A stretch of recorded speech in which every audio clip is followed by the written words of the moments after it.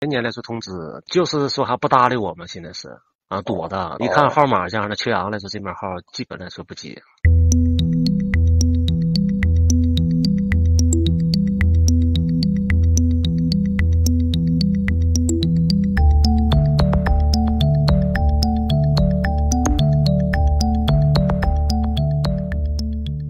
第一批是先去那个发布，他们那个四个人啊，后续还有是个十二个人，现在是十二个人。我们呃第一步先是来个电话这块，如果要是还是说还不来，或者是不回信儿，我们还是采取这种登报的方式，这样限期。工资没有，那是零工资，他欠的费，保险费，他就是按保险这方面交的，公积金没有，都按他的零工资下线交的。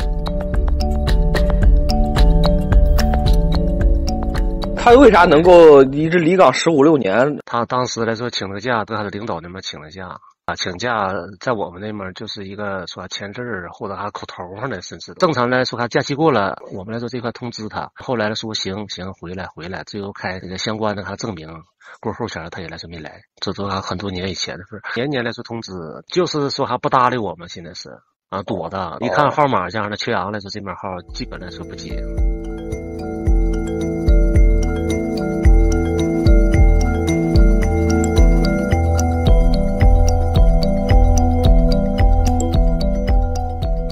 排查咱咱咱是说还在职参保，参保说还人员嘛，人员不上班的不在岗的这样的，零工资都是打卡的记录了都没有了。那时候之前我都往那个咱们县里县里哈仲裁、信访人社局，咱都给报了相关的文件这些。呃，我们企业针对来说这样人，这些人准备准备开始办了处理了。